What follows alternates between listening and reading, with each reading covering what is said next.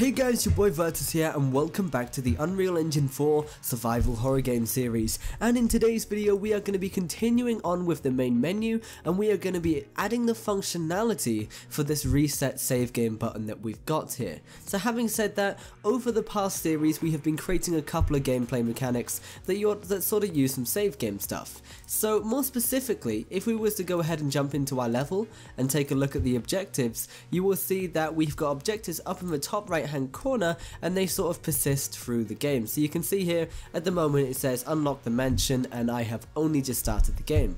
So what I want the player to have the option to do is to sort of set that back to default. It's really simple, really quick to do. So let's just go ahead and dive in and show you exactly how I did it. Now one thing that I do want to mention before we do get any further is we need to go open up our level blueprint to find all of our save game mechanics and we need to find the slot name that we're actually saving all of this information to. For me, that is survival save game, and it's probably going to be the same case for all of you guys. So what I'm going to do here is I'm going to quickly, so I'm just going to quickly select this, and I'm going to press Control C to copy it, because as you've learnt from earlier on in the series, you know, when it comes to save game stuff and referencing files, that kind of thing, it's really important that it's exactly correct. So it's got to be 100% correct, sens uh, case sensitive, and all of that, uh, you know, stuff.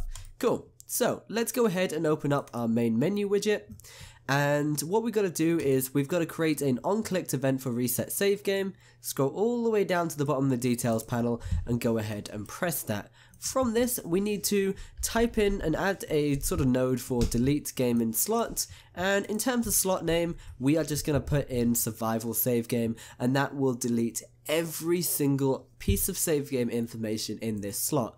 Now, if you guys sort of only want to reset certain aspects of your save game, um, then you know it's sort of best to use one or two, maybe three, or just just break up your slots. But for now, because I've got everything inside of this one slot, it's going to reset all of the save game information.